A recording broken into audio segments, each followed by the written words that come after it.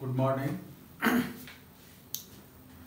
Welcome in K V S live मैं A K Singh आज हम लोग लेक्चर थर्ड में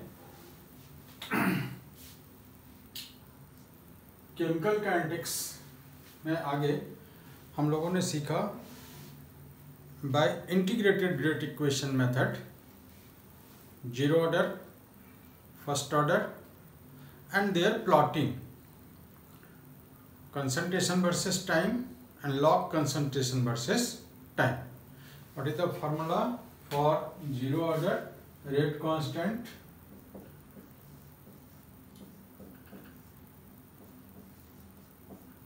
by t and for first order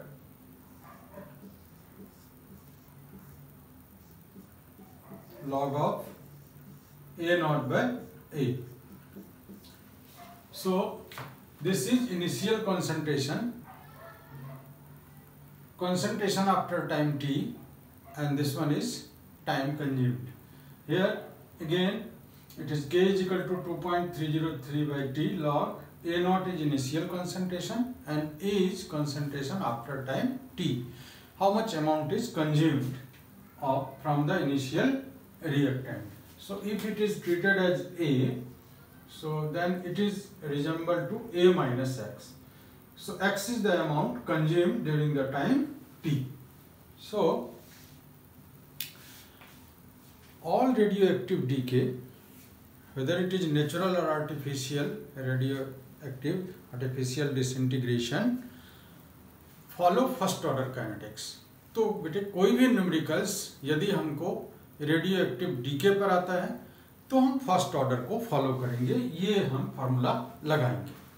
अब हमने, यदि कोई हमारे पास गैसियस फ़ेज़ रिएक्शन है तो उसका हम कैसे फाइंड आउट करते हैं, वो देखते हैं जरा से।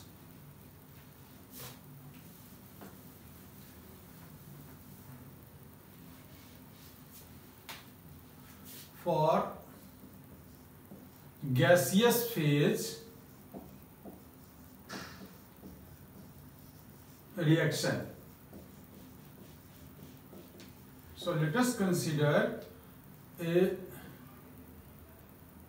reactant A gives B plus C.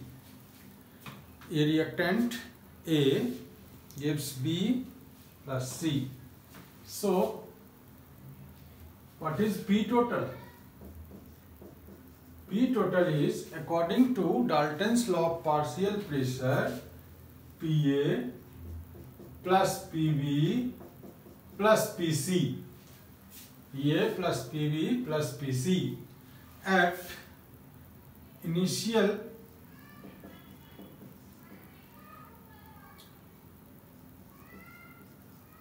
pressure that time t is equal to 0 so here it is P initial here 0 atmosphere 0 atmosphere atmosphere. So what is P total here? So P total is equal to PI but after time t at time T Pi minus X atmosphere. This one is X atmosphere. This one is X atmosphere. So what is P total? P total is Pa plus Pb plus Pc. So Pi minus X plus X plus X. So it is Pi plus x. So this is Pt, so x is equal to Pi minus Pt. So this is initial pressure and this is pressure after time t. So if you apply the first law kinetics, then the value of x is equal to here Pi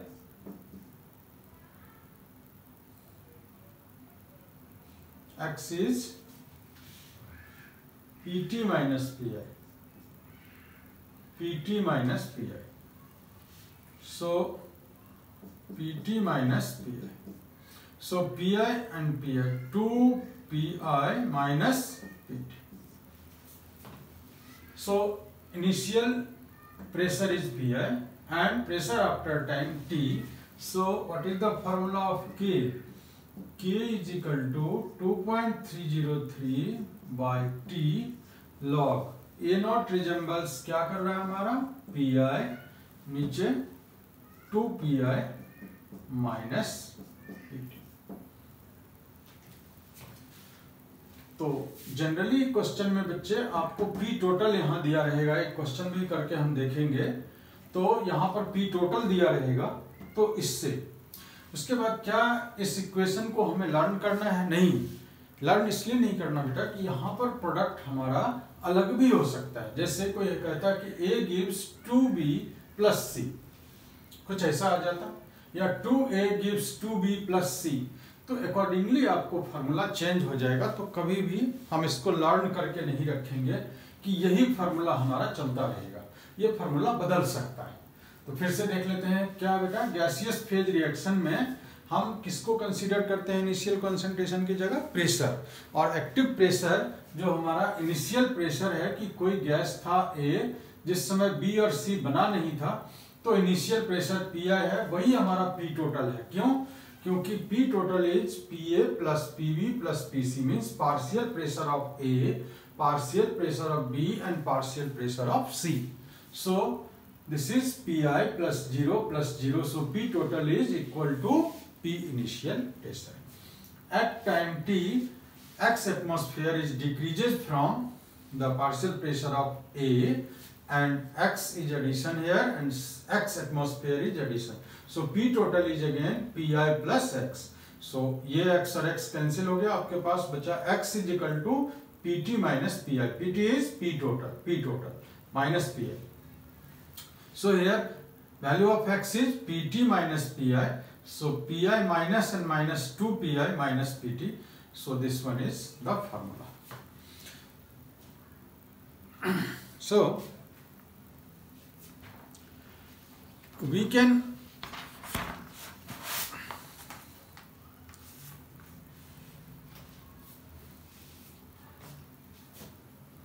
so एक numericals इस पे लेते हैं बेटा फिर देखते हैं हम लोग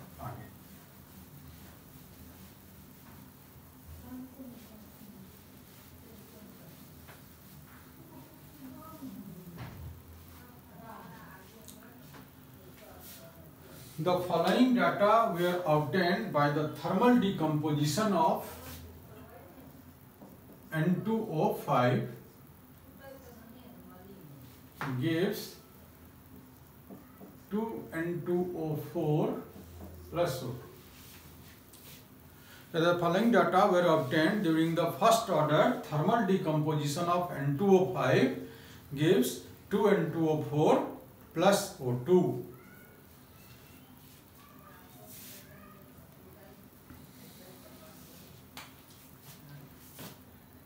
Start T is equal to 0 it is 0 0.5 atmosphere.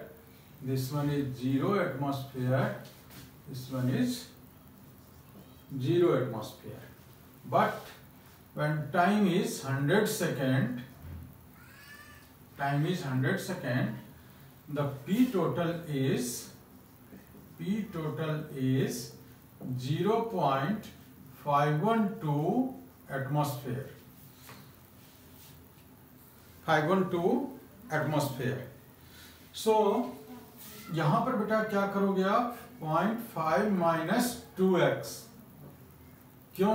2x लिया स्टोक्योमेट्रिक कॉफिशियंट 2 है। यहाँ पर कितना आएगा बेटा? 2x stoichiometric coefficient two. और यहाँ पर कितना atmosphere x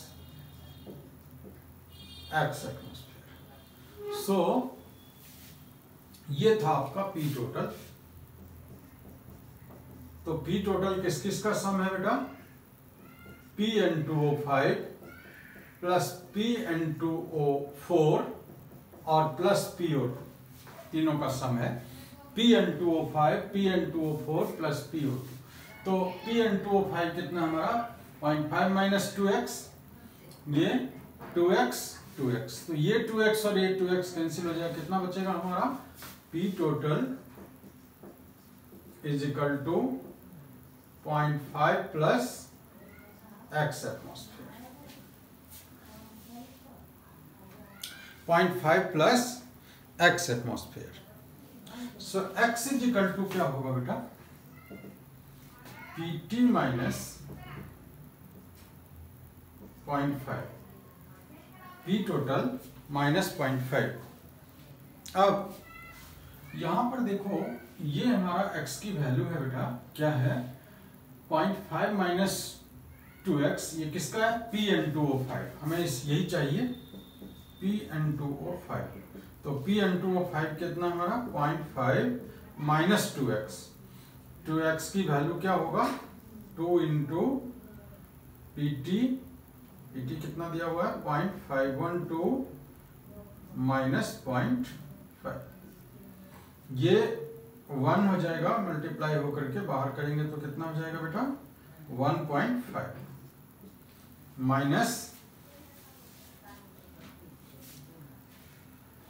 two into point five one two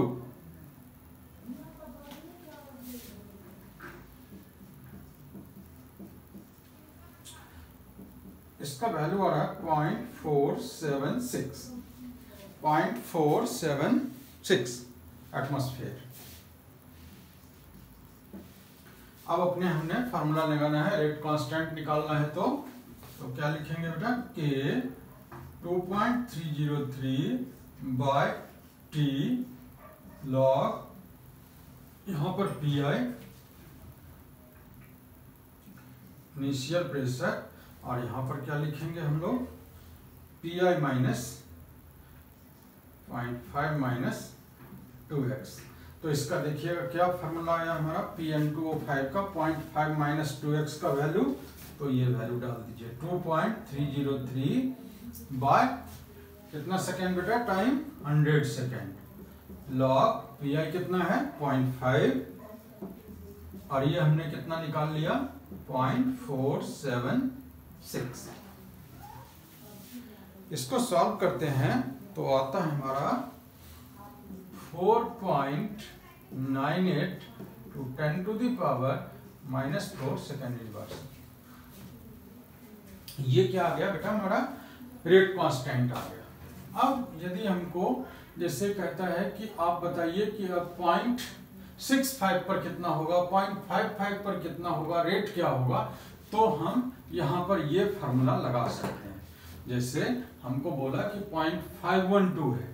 अब हमारा बेटा पी टोटल क्या बदल गया? मान लो कि पॉइंट फाइव फोर हो गया। अब फाइव फोर पर ये रिलेशन हम बनाएँगे तो आप कैसे रेट निकालोगे? रेट निकालेंगे हम लोग, क्योंकि ये फ़र्स्ट ऑर्डर है तो K P N two O five तो उस टाइम उस प्रेशर पर जो हमारा ये आएगा, जैसे अभी हमको रेट निकालना है तो हमारा के निकल चुका है बेटा, और पी एन टू फाइव का वैल्यू कितना आया है? पॉइंट फोर सेवन सिक्स तो इस समय का हम रेट भी निकाल सकते हैं एट हंड्रेड सेकेंड तो देखो बेटा एट हंड्रेड सेकेंड का रेट निकालना चाहते हैं, और ये डाटा बदल भी सकता है। मतलब मैंने बोला कि इस पर्टिकुलर प्रेशर पर और टाइम हंड्रेड सेकेंड का रेट निकालते हैं तो ये हमारा आ रहा है four point nine eight ten to the power minus four और P N two O five कितना था बेटा? Point four seven six. और इसके साथ क्या लगा है? एटमोस्फेयर। इसके साथ क्या लगा है? सेकेंड। तो यूनिट क्या बन गया आपका? Atmosphere per second. ये रेट आ गया एट टाइम हंड्रेड तो कभी भी इस तरह के न्यूमेरिकल्स में आपको कंफ्यूज नहीं करना है और बड़े आराम से कर सकते हैं। एक बार मैं फिर देखता हूँ कैसे कैसे हुआ बेटा? क्या क्वेश्चन था हमारा? क्वेश्चन था कि the following data were obtained during the first order thermal decomposition of N two O five at constant volume क्या हमारा है? Two N two O five gives two N two O four plus O two हमारा जो data दिया हुआ था initial की time जब ज़ीरो है तो ज़ीरो पॉइंट फाइव एटमोसफेयर है तो ये ज़ीरो और ज़ीरो है। और हम पी टोटल की बात करेंगे क्योंकि पी टोटल हमको मिला हुआ है। तो पी टोटल बेटा Dalton law of partial pressure किसका? P N two O five P N two O four और पी ओ टू तो पी टोटल जो हमारा यहाँ पर आया तो point five minus two X का हंड्रेड सेकेंड पर। टू एक्स क्यों लिया? देखो यहाँ पर स्टोक्योमेट्रिक कोफिशियंट क्या है? टू और यहाँ पर फिर टू तो टू एक्स यहाँ पर वन तो एक्स और ये टोटल सम करेंगे तो माइनस टू एक्स और प्लस टू एक्स ये कैंसिल हो जाएगा, क्या बचेगा आपके पास? Point five plus X P total का वैल्यू दिया हुआ था बेटा, कितना? हमारा पॉइंट फाइव वन टू तो एक्स की वैल्यू यहाँ से हम करते हैं तो P T minus point five तो माइनस टू एक्स की वैल्यू क्या है? P T point five one two minus point five इसको मल्टीप्लाई किया टू से। तो ये हमारा 1.5 हो गया, देखो यहाँ से माइनस टू और माइनस पॉइंट वन तो वन बना प्लस वन और ये point five one point five minus two into point five two ये पॉइंट फोर सेवन सिक्स अब हमारा जब के निकालते हैं रेट कांस्टेंट तो हमारा ऊपर में क्या होता है बेटा? इनिशियल प्रेशर और प्रेशर आफ्टर टाइम टी किसका प्रेशर एन टू टाइम का रिएक्टेंट का प्रेशर ऑलवेज रिमेंबर कहोगे, इस सब का क्यों नहीं लिया? क्योंकि ये प्रोडक्ट है तो रिएक्शन का रेट हमें इसी पे डिपेंड कर रहा है। इसलिए हमने बेटा यहाँ पर ये लिया है।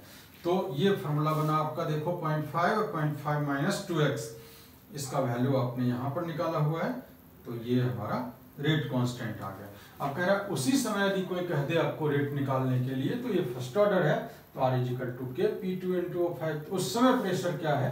तो ये प्रेशर है। तो इस तरह से हम लोग इसको निकाल सकते हैं।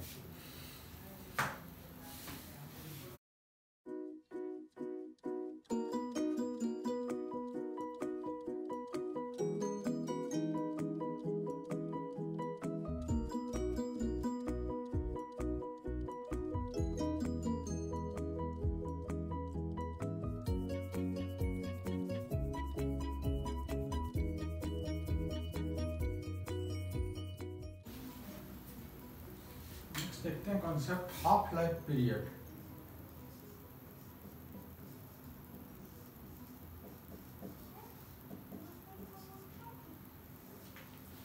what is half life period it is the time required to complete half of the initial amount of the reactant half of the initial amount of the reactant जैसे हम वन ग्राम लिए हैं तो यदि पॉइंट फाइव ग्राम होने में, इसका half होने में कितना समय लगा है, उसी को हम बोलते हैं बेटा half life of a reaction तो हाफ़ लाइफ ऑफ़ रिएक्शन यदि आप देखेंगे दोनों के लिए ज़ीरो ऑर्डर रिएक्शन के लिए और फ़र्स्ट ऑर्डर रिएक्शन के लिए तो इसको हम डिनोट करते हैं टी हाफ़ क्या बोला मैंने?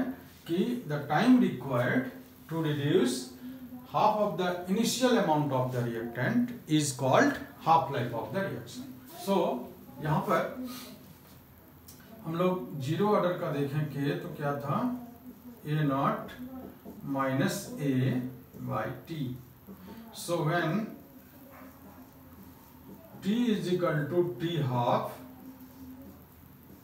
A is equal to A naught by two means this amount is initial amount का हाफ़ होगा तो when t is t half, a is a naught by two so यहाँ पर हम लोग कर लें बेटा t half, और यहाँ पर करें a naught, और यहाँ पर a naught by टू नीचे k क्या आया आपके पास? a naught by two K. So for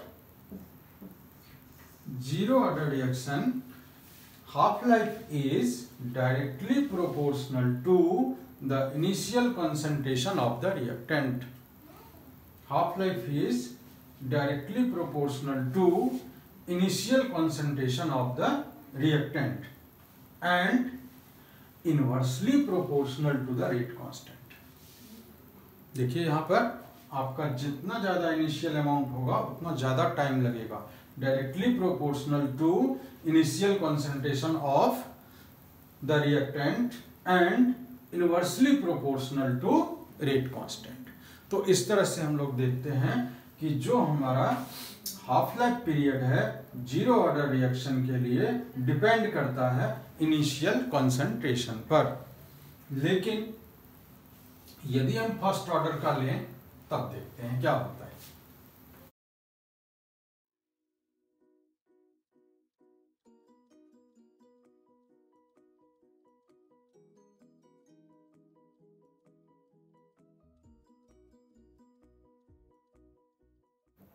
first order का हमारा क्या है? Formula K is equal to two point three zero three by T log of A naught by A यहाँ भी देखेंगे हम लोग कि when T is T half then A is equal to A naught by two so so, यहाँ पर हम लोग टी हाफ़ करते हैं। T half then 2.303 by K log of A naught this one is A naught by two कर दीजिए इसको। तो log two so 2.303 into log two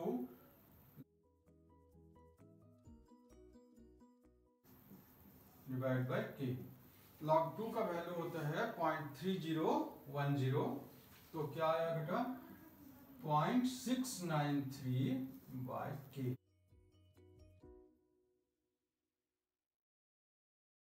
log two की वैल्यू कितना ले लिया हमने यहाँ पर? लॉग टू की वैल्यू ले लिया point three zero one zero और इनका और इसका मल्टीप्लाई करते हैं तो क्या आता है? Point six nine three by K क्या देख रहे हैं हम लोग? कि ये इनिशियल कॉन्सेंट्रेशन से इंडिपेंडेंट है। इनिशियल कॉन्सेंट्रेशन से इंडिपेंडेंट है, लेकिन inversely proportional to rate constant rate constant से कैसा है इसका half life period inversely initial amount of reactant से क्या है? इंडिपेंडेंट तो यदि ऐसा होता है तो जैसे हमारा कोई रेडियो एक्टिव सब्सटेंस है, उसका डीके होता है तो उसके अमाउंट पे डिपेंड नहीं करता। उसका एक हाफ़ लाइफ फिक्स है, उसके तरह से वो, चाहे वो वन किलोग्राम हो व या वन मिलीग्राम हो, उसका हाफ़ लाइफ फिक्स होता है, जो नेचर पे डिपेंड करता है। यदि हम इसी चीज़ को सेकेंड ऑर्डर कर लेते तो यहाँ पर वन बाई ए नॉट आ जाता। मतलब inversely proportional to the initial amount of the तो इस तरह से हमने सीखा half life period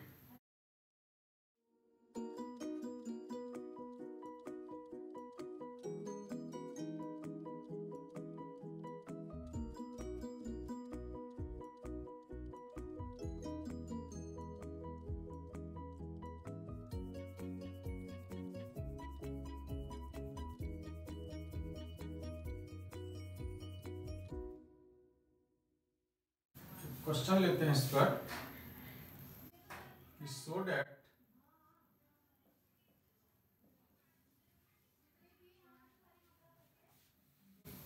first order reaction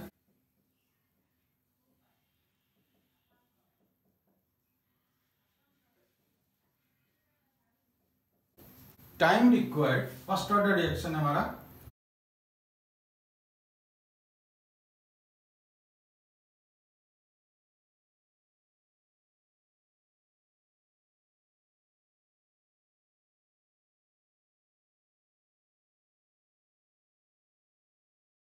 यदि हमारा T 99.9 होगा, T 99.9 तो ये आएगा बेटा 2.303 बाई के लॉग यहाँ पर कितना लेंगे आप? 100 और 99.9 परसेंट कंज्यूम हो जाए तो कितना बचा आपके पास? पॉइंट वन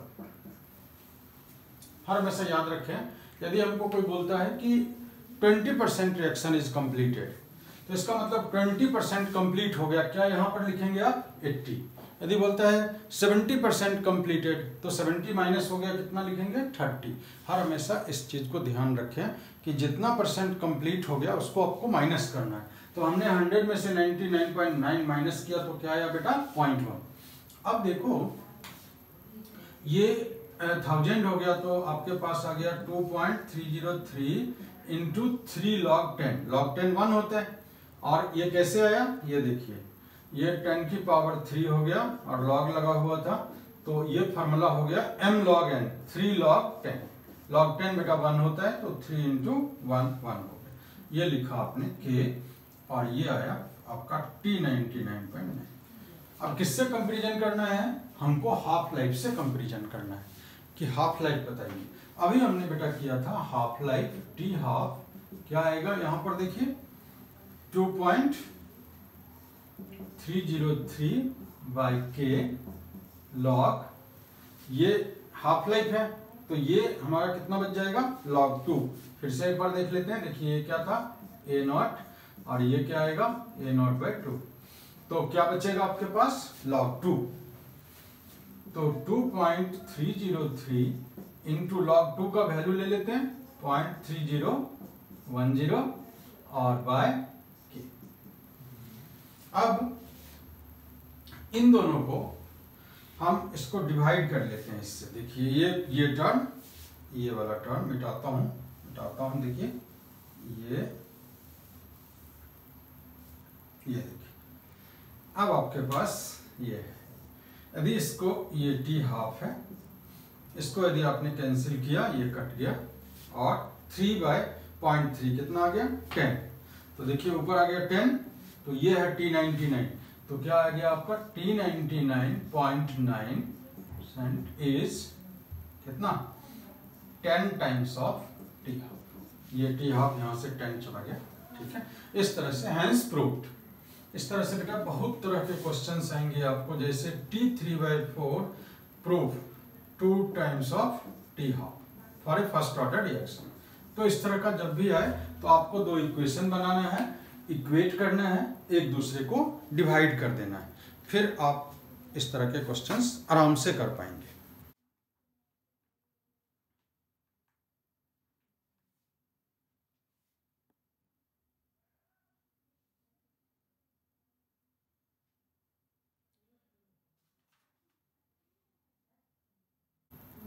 देखते हैं बेटा pseudo first order reaction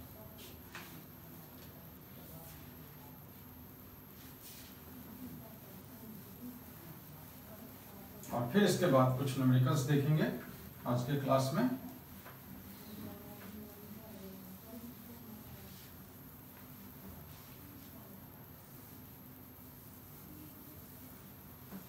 pseudo means होता है false pseudo first order reaction का मतलब है कि यदि हमारे पास कोई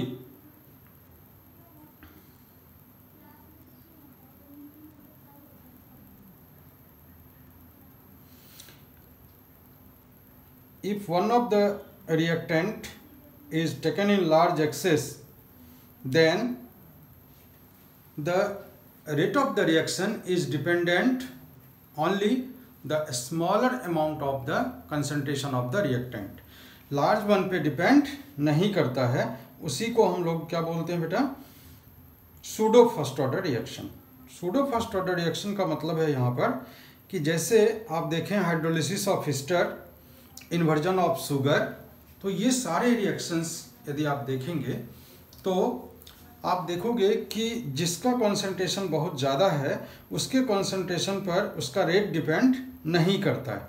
जैसे फॉर एग्जांपल यदि हम हाइड्रोलिसिस ऑफ़ स्टर लेते हैं तो यदि आप देखें तो स्टर के कंसंट्रेशन पर डिपेंड करता है वाटर के कंसंट्रेशन पर डिपेंड नहीं करता, क्योंकि वो बहुत ज़्यादा वैरी नहीं करता।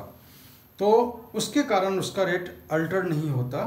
तो it appears to be a bimolecular but actually it is a unimolecular reaction और इसीलिए सूडो वर्ड क्यों आया है?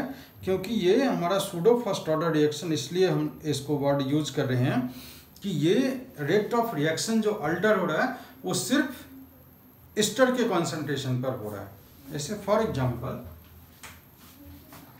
हमने लिया hydrolysis of stir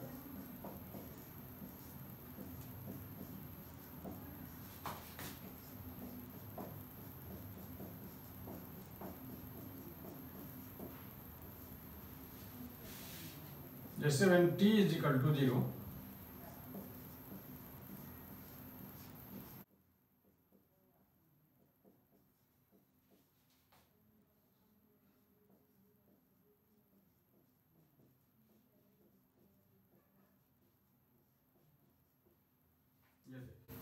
time zero है तो इसका हमने जो मोल लिया पॉइंट ज़ीरो वन मोल, ये टेन मोल, और ज़्यादा इसके कंपेरिजन में ये ज़ीरो मोल और ये भी ज़ीरो। इनिशियली तो ये नहीं बना। अब टाइम टी पर देखेंगे। एट टाइम टी ये ज़ीरो मोल हो गया। मतलब कंज्यूम्ड कंप्लीटली ये इसमें से आपका माइनस हो गया तो क्या बचेगा आपका? 9.9 मोल। और ये आ गया आपका पॉइंट ज़ीरो वन मोल। और ये भी हो गया point zero one so here the rate of reaction is affected by concentration of ethyl acetate only why because during the hydrolysis of ester the concentration of water is remains constant यदि comparison करो 10 मोल और 9.9 में तो इनका कितना percent consumption हो रहा है? तो नहीं के बराबर कंजम्पशन हो रहा है तो इसलिए हम बोलेंगे कि इनका कंसंट्रेशन इफ़ेक्ट नहीं हुआ। और याद करिए, मैंने आपको बोला था एक मेथड आइसोलेशन मेथड जिससे हम डिटर्मिनेशन करते हैं ऑर्डर ऑफ़ रिएक्शन तो इसका मतलब ये इतना लार्ज एक्सेस लिया हुआ है कि इसके कंसंट्रेशन थोड़ा सा चेंज होने से भी हमारा रिएक्शन का रेट इफेक्टेड नहीं होता। है तो तब इसका हम लोग जो रेट लिखेंगे, वो क्या लिखेंगे? C H three C O O C two H five only not water तो ये जो हमारा है, ये pseudo first order rate constant है, और ये कहाँ से आता है? यदि हम इसका वैल्यू ले लें तो ये आता है के डैश एच टू जिसको हमने ऑलमोस्ट क्या किया? कांस्टेंट मान लिया। तो ये यहाँ से आता है, और आप इसमें इसको देखेंगे, इससे इसी पे डिपेंड कर रहा है। तो इसीलिए अपियर्स जो हो रहा है, ये हायर ऑर्डर का, लेकिन एक्चुअली ये फ़र्स्ट ऑर्डर दिखा रहा है, इसीलिए इसको हम बोलते हैं बेटा सुडो फ़र्स्ट ऑर्डर रिएक्शन अब, एक और एग्जांपल ले लेते हैं। Inversion of sugar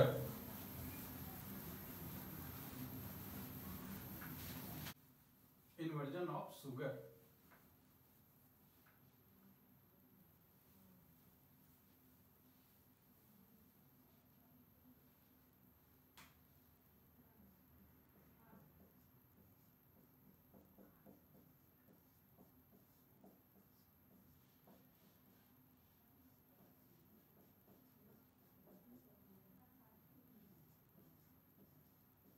inversion of sugar.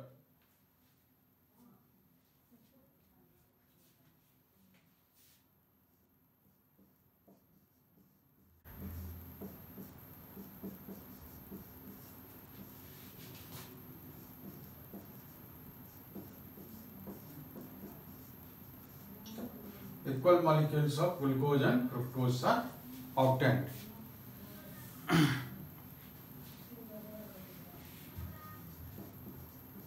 दोनों में अंतर बेटा पढ़ेंगे हम लोग। एक अल्डोहेक्सोज है और एक कीटोहेक्सोज है। इसलिए देखते हैं दोनों का फॉर्मूला तो सेम है।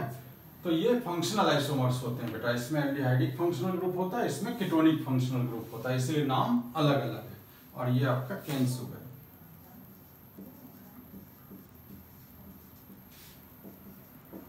तो देखोगे रेट फिर यहाँ इस पे डिपेंड नहीं कर रहा है। इसीलिए इसको हम बोलेंगे सुडो फ़र्स्ट ऑर्डर रिएक्शन अब एक दो क्वेश्चंस करते हैं और इसके बाद आज का क्लास फिनिश करेंगे। देखिए questions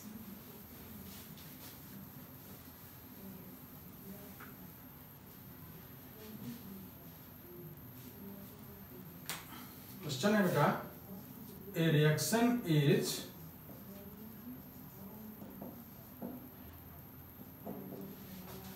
first order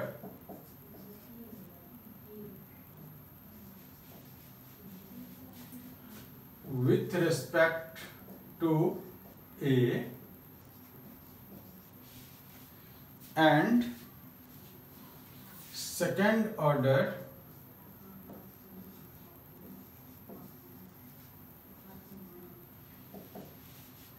with respect to b.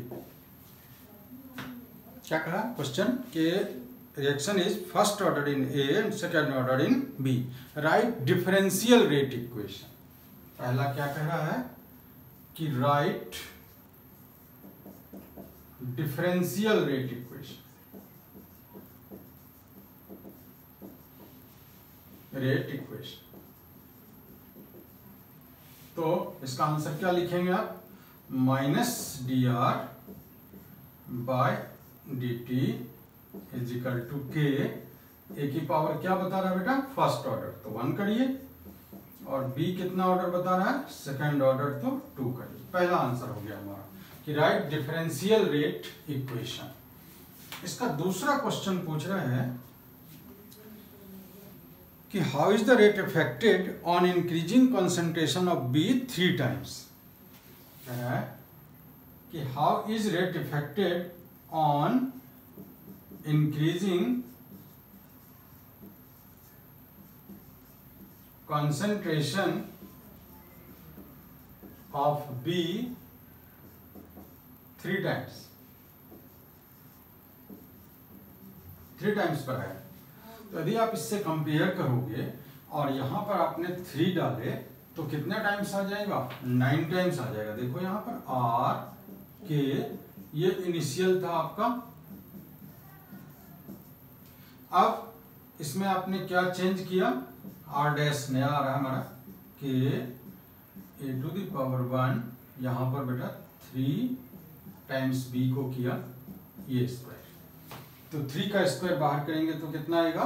Nine तो R dash is equal to nine K A पर पावर वन बी पर पावर टू यदि कंपेयर करें बेटा इन दोनों को तो देखो, ये आपका इससे कट जाएगा पूरा।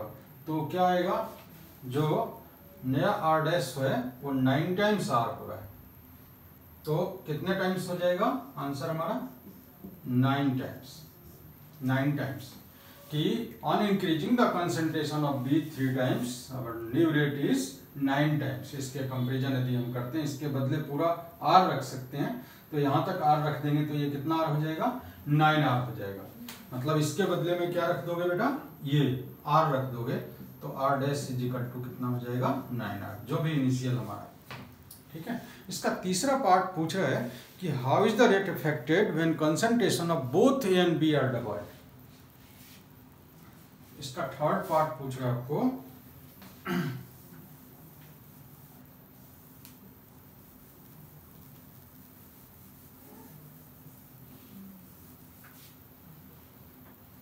थर्ड पार्ट पूछ रहा है।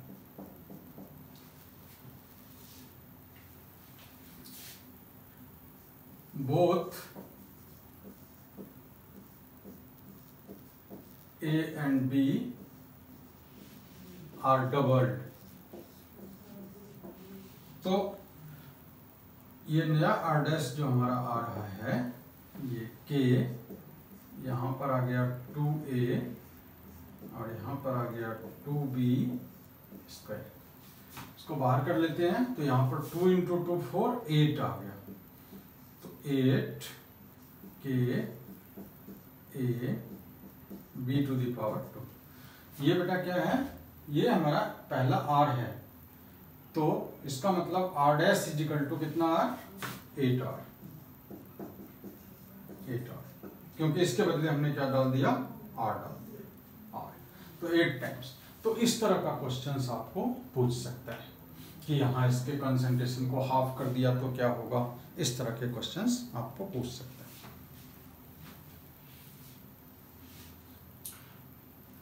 एक हाफ़ लाइफ पर यदि हमारा कोई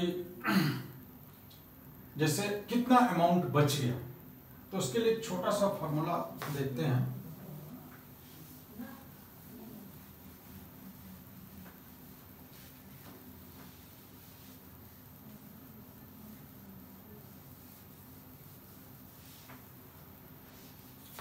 Amount of substance left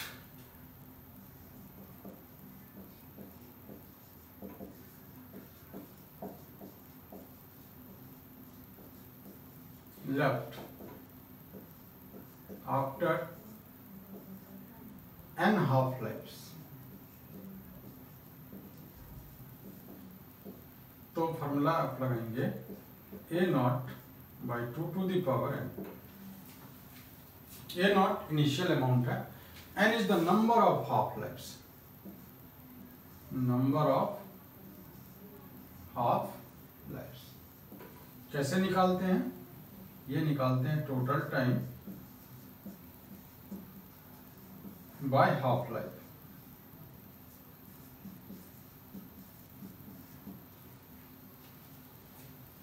total time by half life इससे निकल जाता हमारा एन की value for a first order reaction तो इस तरह से हम ये छोटा सा फॉर्मूला डाल करके एन की वैल्यू निकाल सकते हैं और फिर जब यहाँ डाल देंगे तो हमें कितना परसेंट बच रहा है अमाउंट ऑफ़ सब्सटेंस लेफ़्ट ये हम नंबर कर सकते हैं।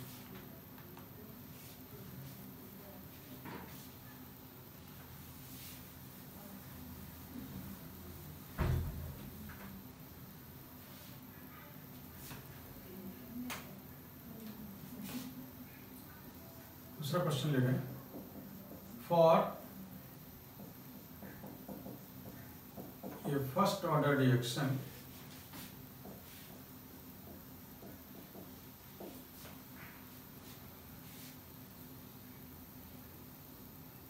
A reaction is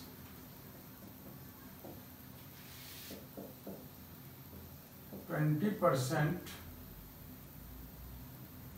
is completed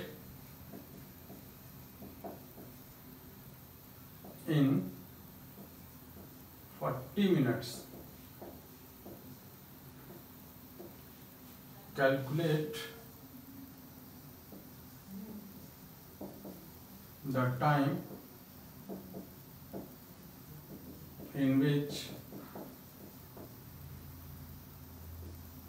it would be 80% complete.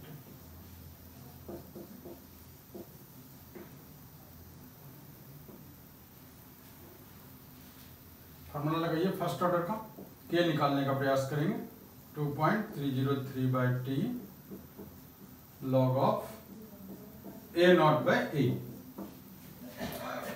so हमारा टाइम कितना मिनट लिया है इसने? फोर्टी मिनट तो के two point three zero three by forty log कितना परसेंट कंप्लीट हो रहा है? ट्वेंटी तो कितना बोला था मैंने आपको? जितना कंप्लीट हो जाए माइनस करना था। हंड्रेड माइनस ट्वेंटी के लिए तो कितना है? एट्टी ये five by four so two point three zero three by forty log five का वैल्यू होता है log five minus log four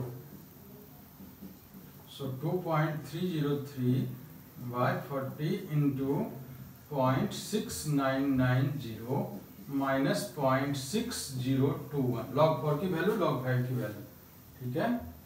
तो ये वैल्यू आप रखिए, कितना आया? Point two three zero three by forty point zero nine six nine ये।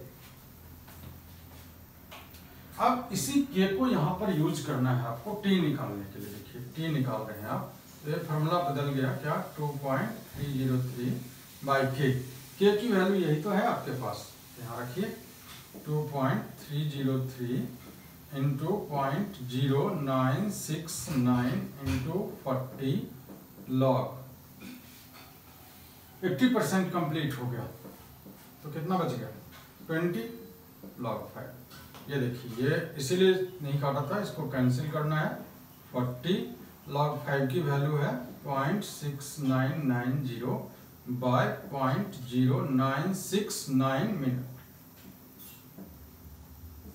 इस तरह से हमारा ये टाइम निकल जाएगा तो इस तरह का कभी भी कोई क्वेश्चंस होता है तो हम इसको सॉल्व नहीं करेंगे क्योंकि हमें के का वैल्यू निकालने के लिए नहीं बोला है। तो इस तरह से हम लोग इसको कर सकते हैं।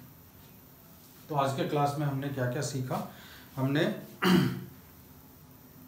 न्यूमेरिकल्स देखा और हाफ़ लाइफ पीरियड क्या होता है? तो हाफ़ लाइफ पीरियड हमने देखा कि this is the time in which the 50% or half of the initial amount of the reactant is consumed during the course of reaction. तो हमने देखा कि जब ज़ीरो ऑर्डर का निकाल रहे थे तो क्या था? कि A naught by two k means directly proportional to initial concentration and inversely proportional to rate constant लेकिन जब हमने फ़र्स्ट ऑर्डर का फॉर्मूला निकाला था तो वो t half is equal to point six nine three by k आ गया। इसका मतलब इस is independent from the initial concentration but inversely proportional to the rate constant फिर इसके बाद हमने देखा कि सुडो फ़र्स्ट ऑर्डर रिएक्शन क्या होता है? सुडो फ़र्स्ट ऑर्डर का मतलब कि एक रिएक्शन जो अपियर होता है कि वो बायोमोलिकुलर है हाइयर ऑर्डर का है, लेकिन एक्चुअली वो फ़र्स्ट ऑर्डर का था। क्यों? क्योंकि वहाँ पर जो हमारा दो, दूसरा रिएक्टेंट है खास करके वाटर जिसका कंसंट्रेशन बहुत ज़्यादा लिया हुआ है तो उसके ऊपर रिएक्शन का रेट डिपेंड नहीं करता है। इसलिए हम उसको बोलते हैं सूडो फ़र्स्ट ऑर्डर रिएक्शन और उसके के को बोलते हैं pseudo first order rate constant उसके बाद हमने बहुत सारा न्यूमेरिकल्स देखा। आगे नेक्स्ट क्लास में हम लोग इफ़ेक्ट ऑफ़ टेम्परेचर पे वर्क करेंगे। Thank you